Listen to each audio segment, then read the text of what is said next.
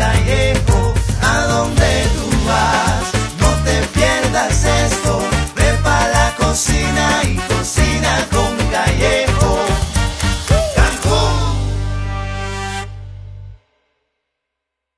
Amigas, amigos, qué gusto que nos veamos otra vez. Vamos a abordar hoy el tema, pues, de toda la semana, la solicitud de una disculpa pública que hizo el presidente López Obrador a la Corona y al gobierno de España. Viene para platicar de este tema Samuel Cervera, eres historiador, y con él vamos a hacer una receta sencilla pero no menos rica. Una rachera marinada de manera especial y unos quesos fundidos.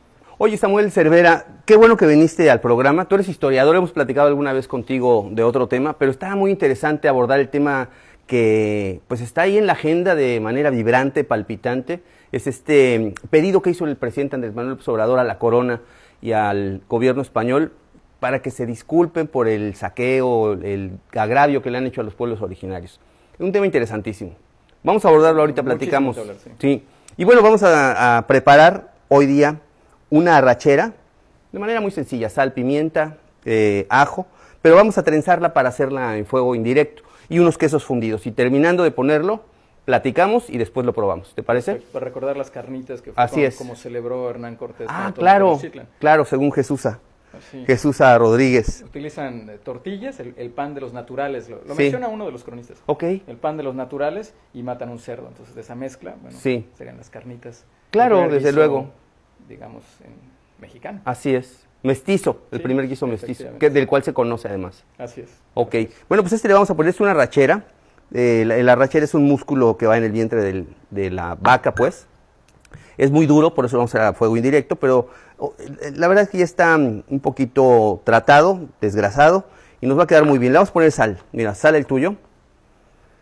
Yo salo este. Polvo de ajo. Igual vamos a ponerle. Polvo de ajo. Pimienta. ¿Quieres ponerle ese? ¿Qué te parece si lo trenzamos? Mira, sería realmente es siempre, siempre hacia el extremo. Cosa mi falta Ok. de práctica haciendo trenzas. ¿eh? Sí, ok. Entonces vamos a poner No, uno para acá, de práctica. otro para acá, otro para acá. Y esta punta, bueno, pues vamos a enredarla aquí y le ponemos un palillo. Mira, todo lo que tenga que ver con Sí. peinados no es mi fuerte. Perfecto. Y vamos a llevar esto al asador en un ratito, pero vamos a poner el queso fundido aquí. Lo único que le vamos a poner es, es pimentón picante. Es pimentón ahumado picante. Es todo lo que le vamos a poner al queso. Y ahora sí, con esto nos vamos a ir al asador. ¿Vale? Excelente. Vamos al asador. Oye Samuel, pues ahora sí vamos a platicar en tanto se termina de hacer el queso fundido y esta rachera que nos vamos a comer.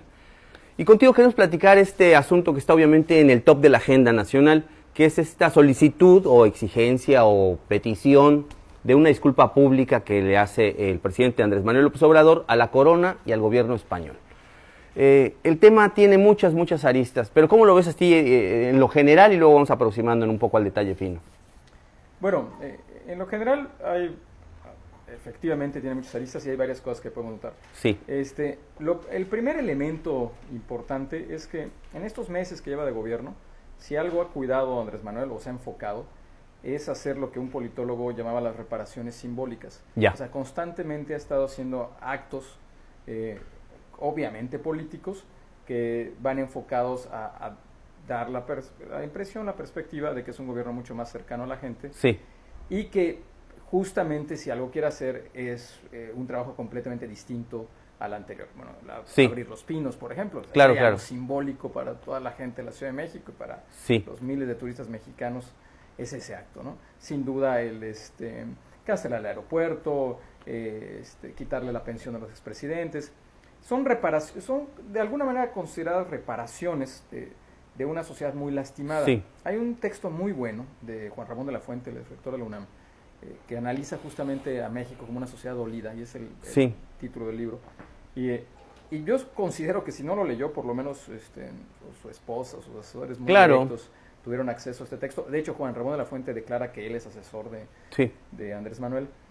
Y una sociedad tan, las- una sociedad tan lastimada y, y- y tan dañada en, en tantos aspectos, o sea, la impunidad es, es sumamente hiriente Sí. y, sobre todo a lo largo de mucho tiempo.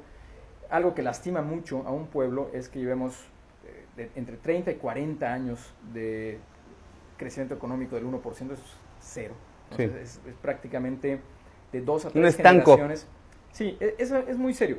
Son dos o tres generaciones de mexicanos que no han progresado. Cuando un papá ve que sus hijos no progresan, esos a su vez tienen hijos y, ven que no progresan y se sigue mencionando en la familia, eso genera movimientos sociales muy drásticos. Este, la, todos estos movimientos que hubo en, el Medio Oriente. Una de las causas de la Revolución Mexicana fue justamente eh, varios sectores sociales que generación tras generación veían que no había crecimiento. La falta de movilidad. Sí, sí, así es. La falta de movilidad social es terrible. Bueno, eso ha sucedido en los últimos 30 años en México.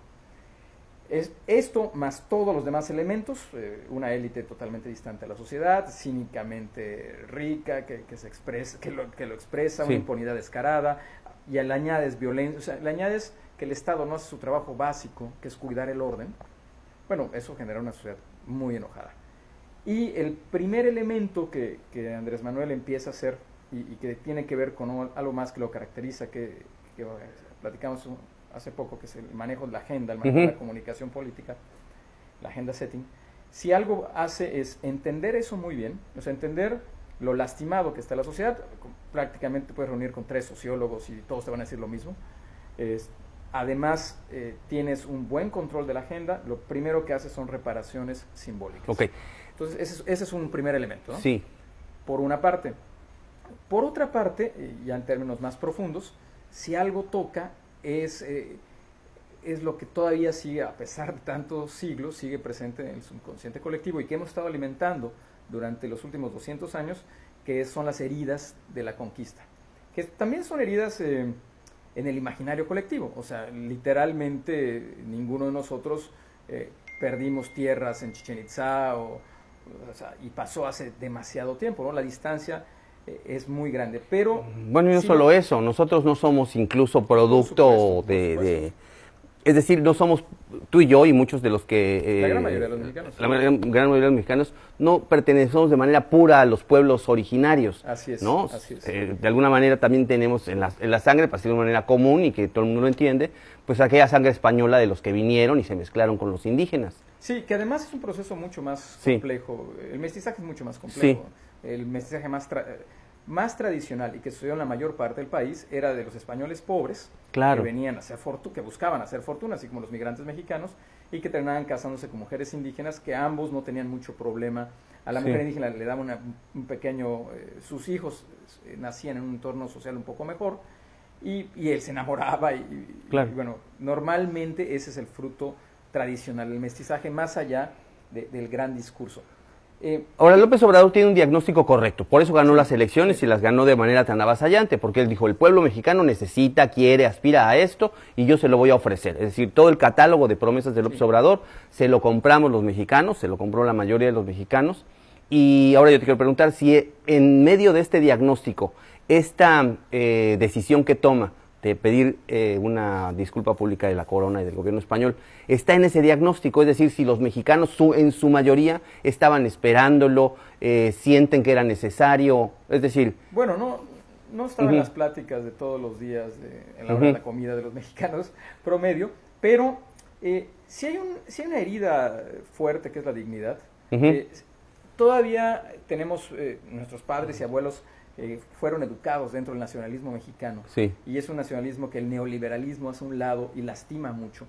Lo deja, lo mantiene todavía vivo, no termina por, eh, por eh, eliminarlo, digamos, pero al, a la vez no genera otra corriente ideológica nueva. Entonces, sí es una herida en, en, las clases medias, en, digamos con los mestizos, que está vigente. Por supuesto, donde tenemos una deuda histórica gigante, sí es con los pueblos originarios, pero esa es una deuda que también lo tenemos los mestizos. Y, Nosotros también tendríamos primeros, ¿no? Bueno, eh, en términos históricos, el daño hecho por criollos y mestizos a los pueblos originarios es casi igual que el que hicieron los españoles. En algunos casos fue peor. Eh, claro. o sea, la guerra de reforma y las leyes de reforma terminan por quitarle las tierras y, lo poco que les quedaba de seguridad económica, digamos, a los pueblos indígenas y facilita el enriquecimiento del porfiriato y la esclavitud, de ahora sí, mucho más fuerte. Muy recientemente la guerra de castas en la península de Yucatán. por supuesto, la guerra de castas y, la esclavitud impresionante en Yucatán. Eh, el daño que hacen los todos los pueblos eh, latinoamericanos después de su independencia a sus pueblos originarios, porque Sí. no solo es un fenómeno de México, pasa en toda América Latina, es enorme. Sí. De- en, en muchos casos fue mayor. Eh, las leyes de Indias tenían, eh, conservaban algunos elementos para que los pueblos eh, indígenas se mantuvieran eh, con cierto nivel económico, sí para tener mano de obra barata, Sí. pero los mantuvo, ¿no? a diferencia de, de ingleses o franceses que, que hacían genocidios. Pero, pero por otra parte, el daño que, que hemos, eh, bueno, que hicieron los pue- un- una vez que las naciones fueron independientes, son eh, mucho mayores. O sea, si, si hay una ideología eh, que predomina en el siglo XIX, es el darwinismo social. Y dentro del darwinismo social, ser indígena equivalía a ser inferior. Claro. Por lo tanto, toda acción que hacían los estados, los estados-nación, para eliminarles lo, lo indígena era hasta cierto punto aceptado ideológicamente Sí. y fue muy brutal. Sí, se llama civilización. Inclusive fue más brutal que la ideología predominante. eh, la, ide- la ideología de los conquistadores eh, sí es catolicismo, pero es un catolicismo eh, que viene muy marcado por, por ideas renacentistas. Entonces, sí vienen con la idea de, de, por supuesto, explotar, por supuesto, hacer una economía extractiva, por supuesto, imponerse a ellos, pero el darwinismo social terminó por, por ser mucho más agresivo. Claro. Oye, eh, analistas críticos, sin decir el nombre, obviamente, para evitar ahí, en fin, eh, han detectado que en esta agenda de López Obrador lo que se ha dedicado a hacer en el primer año es acumular más poder, es decir, Sí, claro.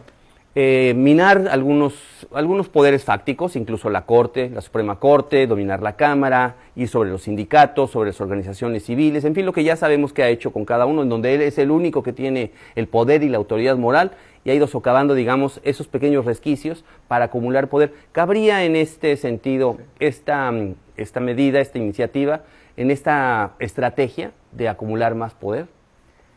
Bueno, no sé, si- no me he puesto a ver si esto, sí, de alguna manera sí.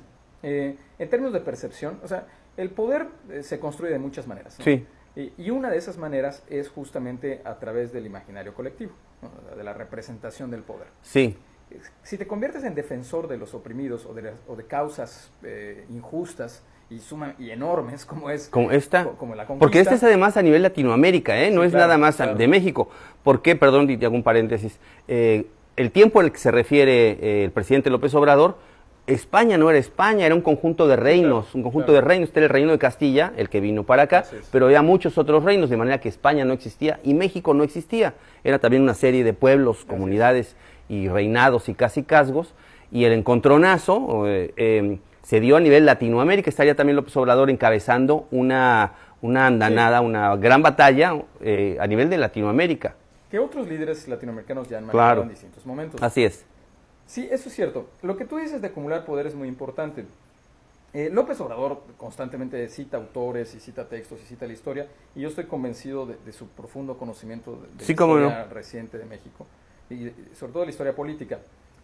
Si uno analiza el cardenismo, eh, un, un periodo que yo investigué, Sí. tengo, que, que tengo dos textos al respecto, eh, si uno analiza el cardenismo, lo que ves eh, es una operación muy semejante a la que López Obrador ha estado realizando.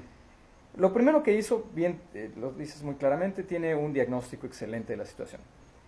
Algo que hace en lo- el neoliberalismo es que le quita mucho poder al Estado en muchas cosas y lo deja, y solamente eh, el Estado lo que protege es, es los mercados en la actividad privada, Sí. pero deja suelto todo lo demás.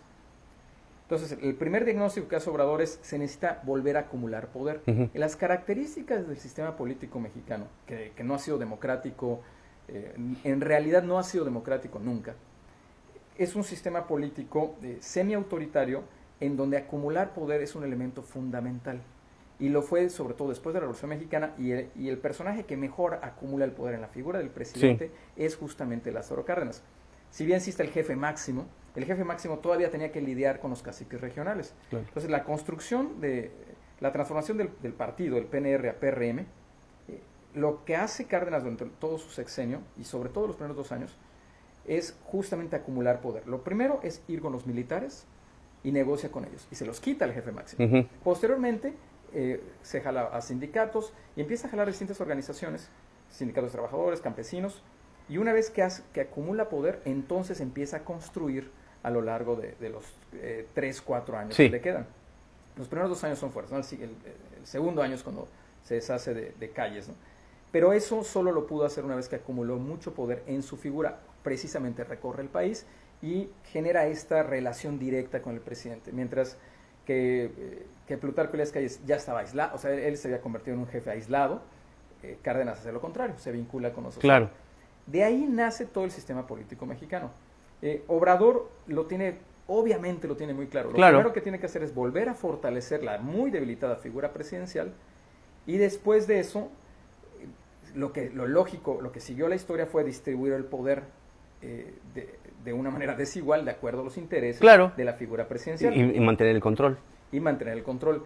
Lo que seguiría Sí. ya en el siglo XXI, porque no estamos hablando de la mitad del siglo XX, sino del XXI, Claro. sería, por supuesto, democratizar. O sea, acumulo ese poder porque sí hace falta, porque el neoliberalismo lo, lo debilitó, pero después de eso lo tengo que sustentar en la democracia, en la sociedad civil y, y en, en la- en todos los distintos sectores de una manera eh, muy compleja. El problema con la democracia es que la democracia requiere sociedades muy preparadas. Para que la democracia funcione en cualquier parte del mundo se necesita mucha educación Sí. y educación para la democracia, que normalmente surge en escuelas primarias y secundarias, eh, sobre todo públicas, pero debe estar en todos los sectores sociales. Ese, ese proceso no se está llevando a cabo en México, Claro. no se está pensando, no se tiene en la mente, por lo tanto, eh, lo que probablemente suceda es que regresemos a algo que, que el mexicano se acomoda mucho, que es a la figura autoritaria, Sí.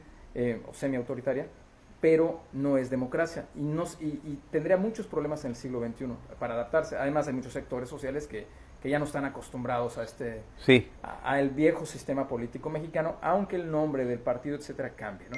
Claro. Tampoco el, el- tampoco es la época para los grandes partidos hegemónicos. Eso ya realmente ya cambió. Habría que ver eh, qué sucede. Sí, el futuro es incierto. el, el camino va por ahí. Ok, y hay una negativa rotunda del gobierno y de la corona española y también del Vaticano, que nos- no lo habíamos mencionado. Bueno, eh, ¿Qué efectos puede tener? Porque ya también con redes sociales eh, se nota mucho también eh, un...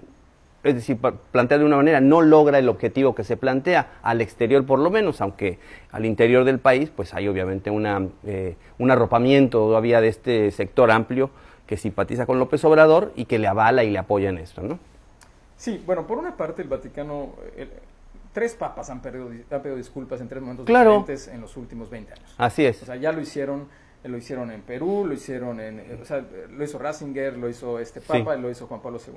Entonces, por una parte, eh, es lógico que una institución religiosa que, que su principal bandera sea Pero amor nunca, prójimo, nu- nunca lo hicieron que, a, eh, a pedido de alguien, lo hicieron de motu propio. Claro, Este es claro, diferente. Pero, lo hici- pero desde Sí. su perspectiva ya lo Ya hicieron. lo y hicieron. Se lo hicieron a todos los pueblos originarios. Claro. O sea, eh, no, no solamente a los mexicanos o exclusivamente Sí, a los descendientes de a- los los pueblos originarios, A claro. todos, a todos, efectivamente. Entonces digamos que ellos ya, ya dicen ya cumplimos. O sea, Sí. Qué bueno que no lo solicitas, pero digamos ya, Sí. ya hemos hecho esa Eh, parte. ya pagamos Entonces- esa factura. entonces tuvieron esa salida sin problema.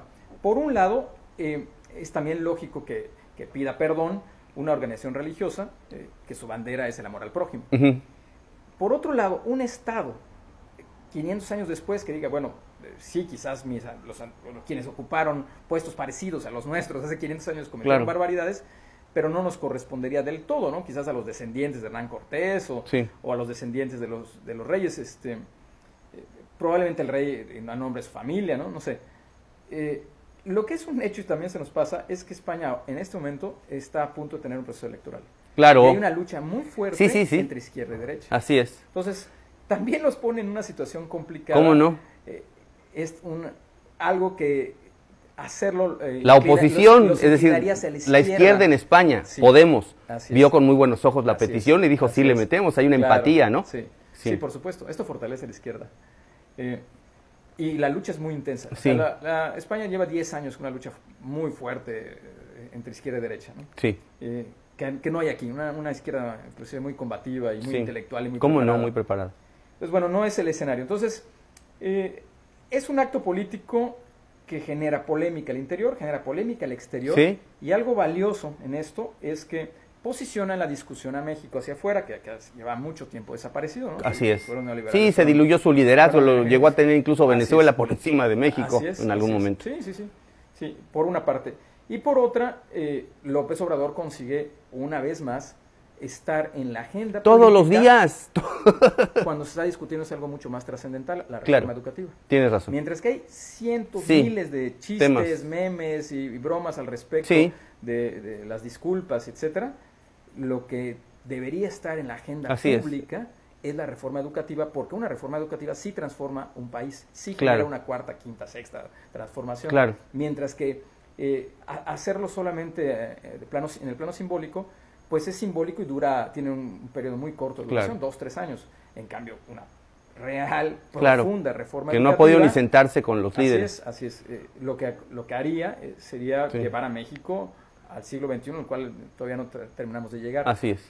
Oye, perdón. Ese es Sí. el camino, en realidad. Una conclusión, así nada más de lo que hemos abordado, porque, y hay que decirlo, próximamente, ojalá que muy, muy pronto esperamos, vamos a tener un programa y pues vamos a analizar este y otros temas ya de manera más eh, constante y con más amplitud, pero ahorita para ir cerrando, digamos.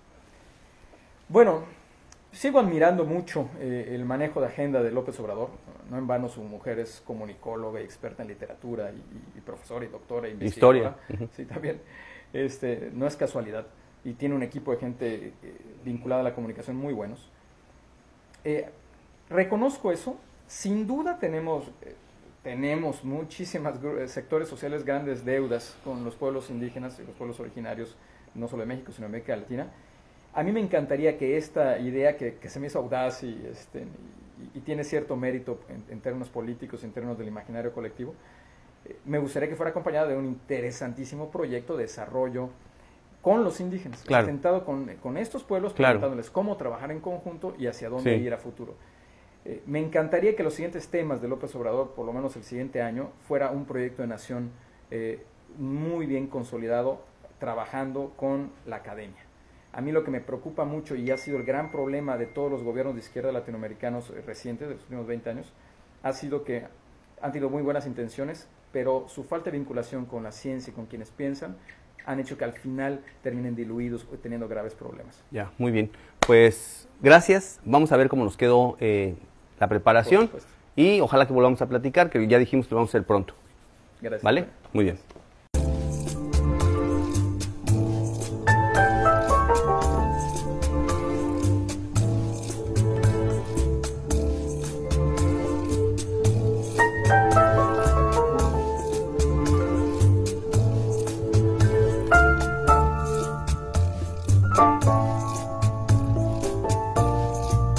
Pues vamos a probar.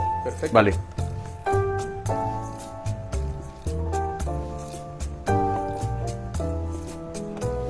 Bien, ¿no? Mm. Qué bueno.